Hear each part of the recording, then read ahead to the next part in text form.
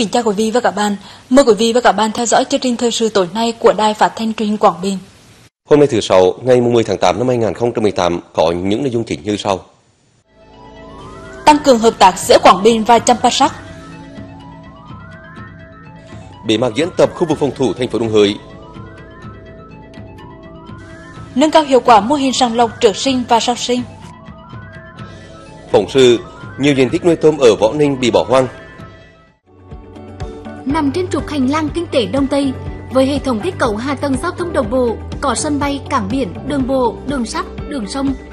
Quảng Bình là địa phương có nhiều tiềm năng cơ hội phát triển du lịch, năng lượng tái tạo, nông nghiệp công nghệ cao, khai thác chế biến thủy hải sản, vật liệu xây dựng, năng lượng điện. Những năm qua, Quảng Bình được đánh giá là một trong những địa phương có môi trường đầu tư kinh doanh tốt nhất của Việt Nam, là điểm đến hấp dẫn các nhà đầu tư. Với chủ đề Hợp tác và phát triển bền vững, Hội nghị xúc tiến đầu tư Quảng Bình 2018 sẽ có trên 500 đại biểu trong nước và quốc tế tham dự. Đây là diễn đàn để các tổ chức doanh nghiệp, nhà đầu tư trong và ngoài nước gặp gỡ, tìm kiếm cơ hội hợp tác đầu tư kinh doanh tại Quảng Bình. Dự kiến số dự án được cấp phép đầu tư ký cam kết thực hiện tại hội nghị sẽ đạt trên dưới 3 tỷ USD, tương đương trên 66.000 tỷ đồng Việt Nam.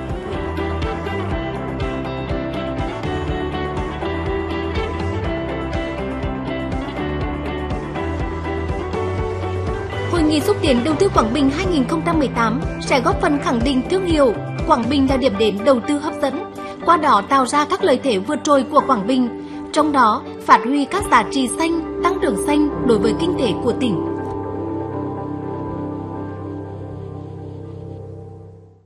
Thưa quý vị và các bạn, nhận lời mời của tỉnh ủy, Ủy ban chính quyền tỉnh Champasak, nước Cộng hòa Dân chủ Nhân dân Lào, đoàn đại biểu cấp cao đảng, chính quyền tỉnh Quảng Bình do đồng chí Trần Công Thuật, Phó Bí thư Thường trực tỉnh ủy, trưởng đoàn đại biểu Quốc hội tỉnh dẫn đầu đã sang thăm và làm việc tại tỉnh Champasak. Sáng nay ngày 10 tháng 8, đoàn đại biểu cấp cao hai tỉnh đã tiến hành hội đàm và ký biên bản hợp tác. Tham dự buổi hội đàm có đồng chí Đào Văn Hiếu, Tổng lãnh sự quán Việt Nam tại tỉnh Champasak. Về phía tỉnh Champasak có đồng chí Nifon Vieng Pasert, Phó Bí thư tỉnh ủy, trưởng đoàn đại biểu cấp cao tỉnh Champasak, nước Cộng hòa Dân chủ Nhân dân Lào.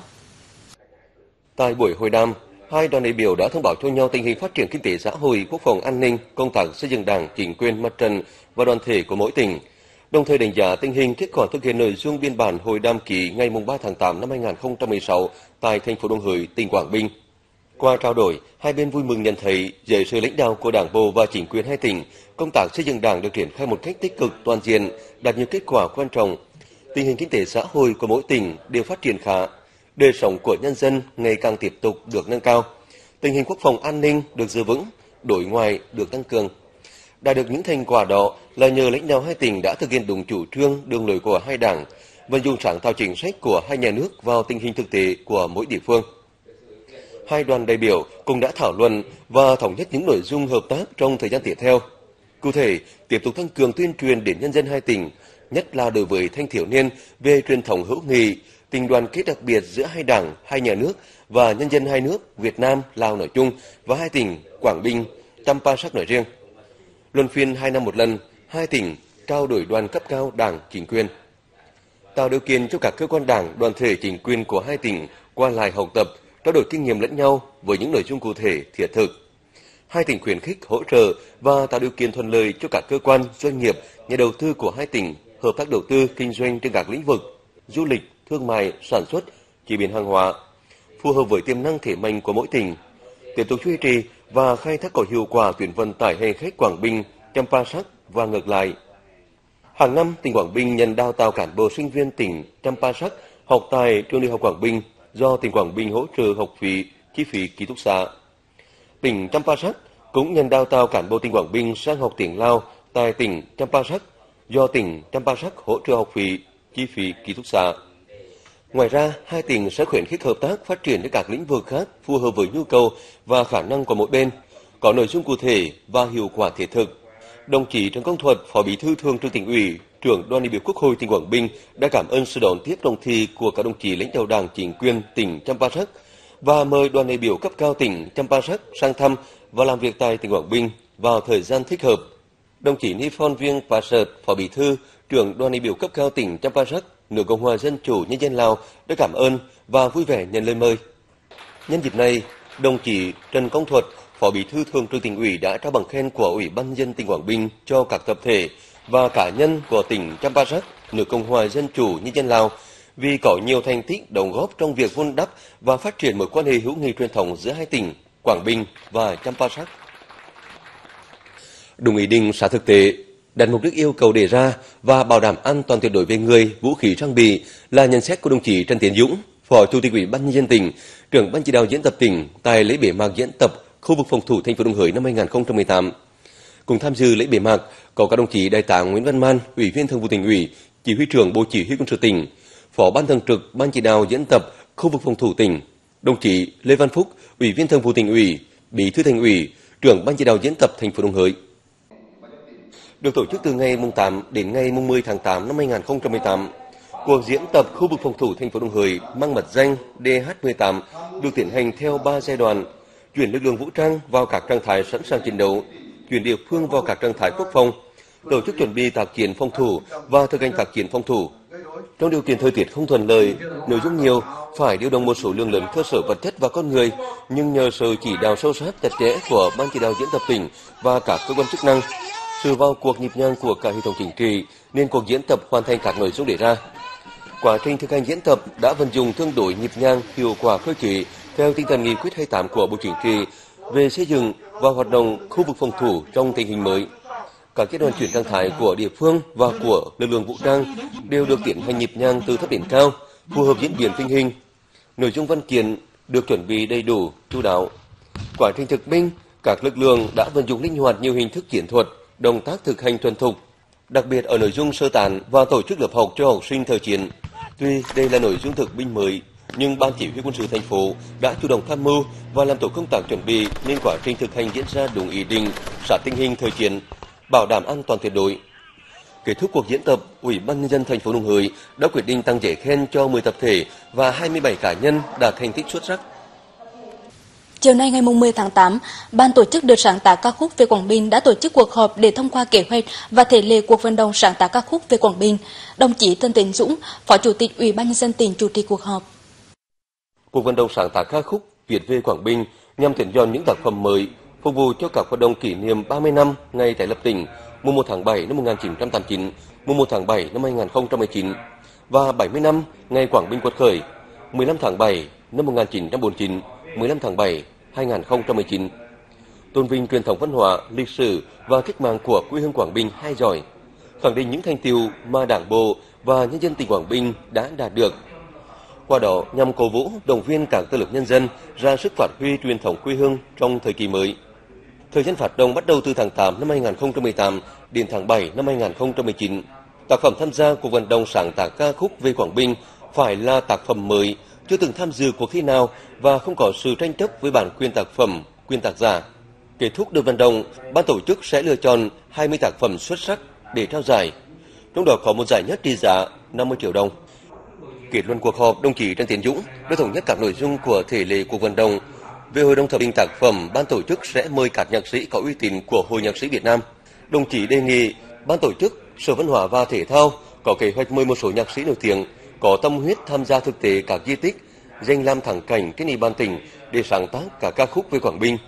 Phối hợp với Hội Nhạc sĩ Việt Nam tổ chức trại sáng tác toàn quốc tại Quảng Bình. Các cơ quan truyền thông đẩy mạnh công tác tuyên truyền trên các phương tiện thông tin đại chúng trong tỉnh và cả nước để cuộc vận động sáng tác ca khúc Việt về Quảng Bình đã được kết quả tốt. Nhân kỷ niệm 57 năm ngày nạn nhân chất độc da cam, mùng 10 tháng 8, huyện Bố Trạch đã tổ chức nhiều hoạt động có ý nghĩa, thể hiện sự quan tâm của chính quyền cả cấp và cộng đồng xã hội đối với những gia đình có nạn nhân bị nhiễm chất độc da cam dioxin.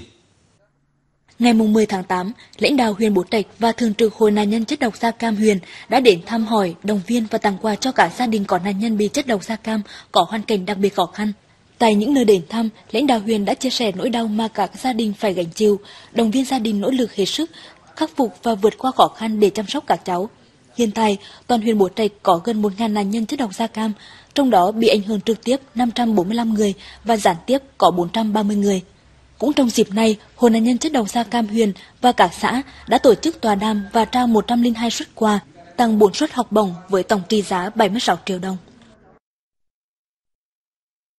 Ngày 10 tháng 8, Hội nạn nhân chất độc da cam dioxin huyện Tuyết Hóa đã đến thăm và tặng quà cho cả gia đình có nạn nhân chất độc da cam trên địa bàn huyện. Thường trực Huyền Hồi đã trực tiếp đến thăm và tặng quà cho 12 nạn nhân chất độc da cam tại các xã Thanh Hóa, Kim Hóa, Lê Hóa, Đồng Hóa và Văn Hóa. Mỗi suất quà trị giá 300.000 đồng.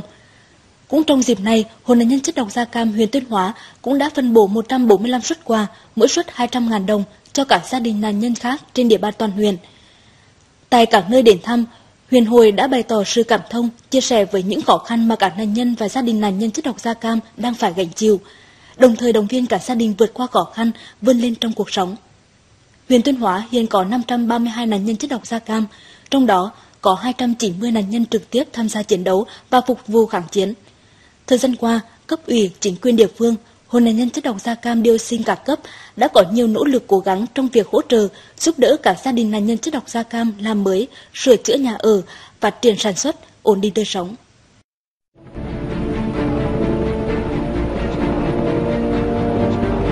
Chiến tranh đã qua đi, nhưng còn hàng trăm ngàn người nhiễm chất độc da cam dioxin tồn tại.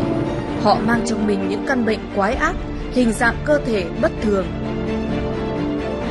Hiện nay, đã phát hiện thế hệ thứ tư di chứng chất độc da cam rất thương tâm. Hãy chung tay bằng cách soạn tin da cam gửi 1409 để hỗ trợ 18.000 đồng giúp chăm sóc sức khỏe, chữa bệnh cho nạn nhân nhiễm chất độc da cam dioxin tại Việt Nam. Chương trình thời sự tối nay sẽ được tiếp nối với những thông tin đáng quan tâm khác. Nâng cao hiệu quả mô hình sàng lọc trước sinh và sau sinh. Phóng sự nhiều diện tích nuôi tôm ở Võ Ninh bị bỏ hoang. Thưa quý vị và các bạn, Ủy ban nhân dân tỉnh Quảng Bình vừa có quyết định phân bổ kinh phí hỗ trợ hộ nghèo xây dựng nhà ở phòng tránh bão lũ theo dự án tăng cường khả năng chống chịu với những tác động của biến đổi khí hậu cho cả cộng đồng dễ bị tổn thương ven biển Việt Nam. Theo đó, Ủy ban nhân dân tỉnh phân bổ 972 triệu đồng hỗ trợ 79 hộ nghèo xây dựng nhà ở phòng tránh bão lũ, gồm huyện Quảng Ninh 480 triệu đồng hỗ trợ cho 40 hộ, thị xã Ba Đồn 344 triệu đồng hỗ trợ cho 27 hộ, huyện Bố Trạch 108 triệu đồng hỗ trợ cho 9 hộ và huyện Quảng Trạch 40 triệu đồng hỗ trợ cho 3 hộ. Trong đó các hộ đang cư trú tại vùng khó khăn hỗ trợ 14 triệu đồng một hộ. Hộ không thuộc vùng khó khăn và thôn đặc biệt khó khăn hỗ trợ 12 triệu đồng một hộ. Hôm nay ngày 10 tháng 8, Ban Quản lý Dự án Quản lý Thiên tai phối hợp với Ủy ban Nhân dân xã Tân Ninh, huyện Quảng Ninh đã tổ chức diễn tập phòng chống thiên tai và tìm kiếm cứu nạn năm 2018. Tình huống gia đình là Ủy ban Nhân dân xã Tân Ninh nhận được công điện khẩn của Ủy ban Nhân dân huyện Quảng Ninh về ứng phó khẩn cấp với cơn bão số 7 sắp đổ bộ với sức gió mạnh cấp 11, giật cấp 12, cấp 13 và có nguy cơ gây ngập lụt nặng tại địa bàn xã Tân Ninh, mà trọng điểm là ở thôn Thể Lộc.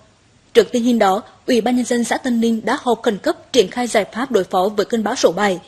Với phương châm bốn tại chỗ, Ủy ban Nhân dân xã đã chỉ đạo các lực lượng chuẩn bị đầy đủ phương án về vật tư, phương tiện, các phương án hiệp đồng phòng chống cứu nạn, tổ chức sơ tán nhân dân các vùng nguy hiểm, hỗ trợ lương thực thực phẩm cho nhân dân ở vùng sơ tán, tăng cường lực lượng tham gia ứng cứu người và tài sản nhằm hạn chế thấp nhất thiệt hại về người và tài sản cho nhân dân. Bên cạnh đó, chỉ đạo đảm bảo an ninh trật tự, tổ chức các tuyến giao thông bị chia cắt do mưa bão. Sau diễn tập vận hành cơ chế là xử lý tình huống thực tế, gồm trăng chống nhà cửa, cứu đuối trên sông, sơ cứu người bị thương, sơ tán và di rời nhân dân ở các vùng trọng yếu. Đợt diễn tập nhằm nâng cao năng lực chỉ huy, điều hành và tổ chức thực hiện của chính quyền xã và cả cán bộ thôn trong công tác phòng chống thiên tai, tìm kiếm cứu nạn, khắc phục hậu quả, nâng cao năng lực phòng ngừa, ứng phó với thiên tai của người dân và cộng đồng trong mùa mưa sắp tới. Sàng lọc trước sinh và sơ sinh là một biện pháp dự phòng hiện đại dùng kỹ thuật y khoa để phát hiện ra một số bệnh lý dị tật bẩm sinh của trẻ như thiểu năng trí tuệ, suy giáp bẩm sinh, Mô hình này hiện đang được triển khai thực hiện tại 100% xã, phường, thị trấn của 8 huyện thị xã thành phố trên địa bàn tỉnh. Từ đầu năm đến nay, ngành y tế Quảng Bình đã thực hiện 581 ca sàng lọc trước sinh và sơ sinh, trong đó lấy và gửi 279 mẫu máu gọt chân trẻ sơ sinh đến trung tâm chẩn đoán sàng lọc trước sinh, sơ sinh thuộc trường đại học y dược Huế. Kết quả đã phát hiện và nghi ngờ trẻ có nguy cơ đột biến nhiễm sắc thể, hai trẻ có nguy cơ suy giáp bẩm sinh. Chi cục dân số kế hoạch hóa gia đình đã kịp thời thông báo với gia đình các trẻ để có biện pháp khám chữa bệnh kịp thời. Để thực hiện có hiệu quả chương trình sàng lọc trước sinh và sơ sinh, hiện nay Chi cục Dân số Kế hoạch hóa gia đình tỉnh đã phối hợp với Trung tâm Dân số Kế hoạch hóa gia đình các huyện, thị xã, thành phố tiếp tục tăng cường công tác tuyên truyền vận động, tư vấn nhằm nâng cao nhận thức, hiểu biết về tầm quan trọng của việc sàng lọc trước sinh và sơ sinh cho phụ nữ trước và sau sinh con.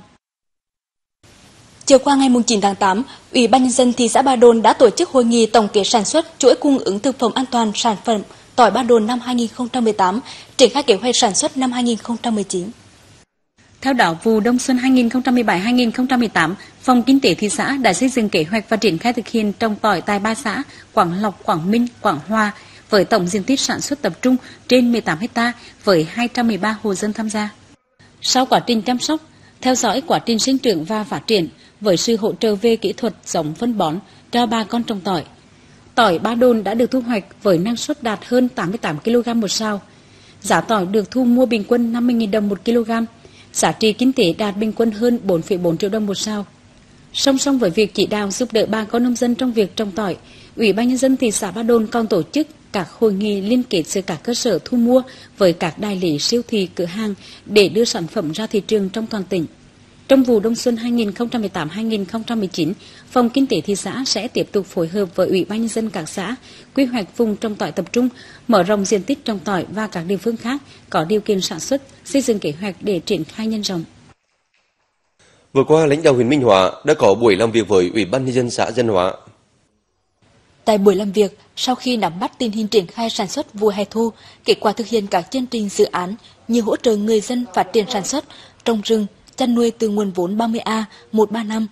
nguồn khắc phục bão lụt tại địa bàn xã Dân Hóa. Lãnh đạo huyện Minh Hóa đã chỉ đạo chính quyền xã Dân Hóa cần tăng cường tuyên truyền đến tận người dân để bà con nắm bắt đúng chủ trương, chính sách của huyện về các chương trình hỗ trợ đồng bào an sinh xã hội, tăng cường công tác phòng chống dịch bệnh cho đàn vật nuôi, lựa chọn các loài cây trồng, giống vật nuôi phù hợp để đầu tư phát triển mô hình, từ đó nhân rộng. Các mô hình đường nhân vốn hỗ trợ phải thực hiện nghiêm túc, thực sự mang lại hiệu quả và trở thành mặt hàng chủ đạo, đặc trưng của địa phương, giúp nhân dân có thu nhập cao, bền vững. Thưa quý vị và các bạn, trong những năm gần đây, mô hình nuôi tôm nước lờ ở xã Võ Ninh, huyện Quảng Ninh là một trong những giải pháp chuyển dịch cơ cấu kinh tế, mang lại thu nhập khá cho nhiều hộ nông dân. Tuy nhiên, hiện nay, hàng chục hộ dân ở xã Võ Ninh đang gặp nhiều khó khăn khi tôm nuôi liên tục bị dịch bệnh chết hàng loạt. Đầu tư gần 200 triệu đồng cho gần 1 hecta diện tích nuôi tôm thẻ chân trắng, ông Lê Văn Sơn ở thôn Trúc Ly, xã Võ Ninh, huyện Quảng Ninh vẫn không thể ngờ rằng tất cả vốn liếng, tài sản của gia đình đầu tư vào vụ nuôi tôm năm nay lại có thể bị mất trắng ngay khi vụ nuôi mới chỉ bắt đầu gần một tháng. Tôm bị bệnh thì gia đình cũng quyết tâm để làm vụ hai để kiếm lại vốn. Nhưng mà qua quá trình đi tìm, tìm hiểu về môi trường hiện tại là môi trường quá xấu. Cho nên vụ hai cũng đến khoảng 25 ngày nó cũng chết cho nên gia đình à, quyết định là phải dừng nuôi à, còn thiệt hại của gia đình năm nay cũng tương đối lớn là khoảng cỡ đến 200 triệu không chỉ riêng gia đình ông Lê Văn Sơn, mà ở xã Võ Ninh còn có 35 hộ dân khác cũng đang lâm vào cảnh điêu đứng vì tôm chết hàng loạt. Nguyên nhân dẫn đến tình trạng tôm chết được cơ quan chức năng cho là do bệnh đốm trắng và bệnh hoại tử. Tôi là nuôi ờ, là coi tôm ở cái vùng này cũng gần hai, ba mươi năm rồi. Bà con này ờ, nhìn chung là mấy năm nay là nuôi là đầu tư rất là kỹ. Là cái nhà nào là coi như vây lưới quanh nhà này là không có dịch liệu với môi trường ở ngoài, nhưng mà vẫn bị dịch bệnh. Võ Ninh có trên 100 hồ nuôi tôm với tổng diện tích hồ nuôi là 46 hectare. Những năm gần đây, hiệu quả kinh tế từ nuôi tôm ở địa phương này đồng góp không nhỏ vào phát triển kinh tế nông nghiệp ở huyện Quảng Ninh. Thu nhập khá, giúp nhiều hộ gia đình thoát nghèo vươn lên làm giàu từ con tôm. Tuy nhiên năm nay, xã Võ Ninh đã có gần 18 hecta diện tích hồ nuôi tôm bị chết. Vốn bỏ ra không thu về được, cộng thêm khoản nợ vay ngân hàng để đầu tư cho vụ nuôi tôm càng khiến cho các hộ dân khó khăn trồng chất. Chính vì vậy, hầu hết các hộ đều bỏ hoang hồ nuôi, đành chấp nhận thua lỗ. Ủy ban xã sau khi nhận được thông tin các hồ nuôi trồng thủy sản bị dịch bệnh thì ờ, tập trung là chỉ đạo tuyên truyền vận động các hồ là khắc phục từ khắc phục và xử lý ao hồ. Riêng ờ, ủy ban xã đề nghị là chi cục thú của tỉnh và chi cục y của huyện kiểm tra để cấp hóa chất kịp thời, dập dịch, tạo điều cho các hồ là tiếp tục thả nuôi. Khó khăn của các hộ dân bị thiệt hại do cái bệnh ờ, tôm đốm trắng và dịch bệnh thì hiện nay là khó khăn của họ là nguồn vốn đề nghị cả cấp là xem xét để hỗ trợ cho vay tạo điều kiện cho các hộ là có cái nguồn vốn là đầu tư ao hồ thả con giống và thức ăn Đối với những người nuôi tôm, dịch bệnh là nỗi lo lắng nhất mỗi khi bước vào vụ nuôi. Qua trao đổi với ông Dương Việt Phương Tuấn, Phó Chi cục trưởng Chi cục chăn nuôi và thú y tỉnh, bên cạnh nguyên nhân do thời tiết diễn biến bất thường khiến tôm nuôi giảm sút, đề kháng dẫn đến bị bệnh, còn do việc bà con cải tạo ao hồ xử lý mầm bệnh của ổ dịch cũ chưa triệt để. Đến nay, ờ, tình hình dịch bệnh vẫn đang còn có nguy cơ sẽ tiếp tục xảy ra đối với những hồ đang còn nuôi tiếp theo thì để mà giữ được các cái ao nuôi còn lại thì uh, chi cục đề nghị là các hồ nuôi mà là đã có dịch bệnh xảy ra và đã xử lý dịch bệnh rồi là ngừng thả giống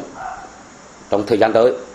hai, đối với các cái hồ mà còn đang nuôi, thì cần tăng cường cái công tác giám sát biểu hiện của tôm để khai báo kịp thời và có hướng xử lý là nhanh để lây lan dịch bệnh nữa và là các hộ mà có có nhu cầu thả nuôi thêm thì là nên chuyển đối tượng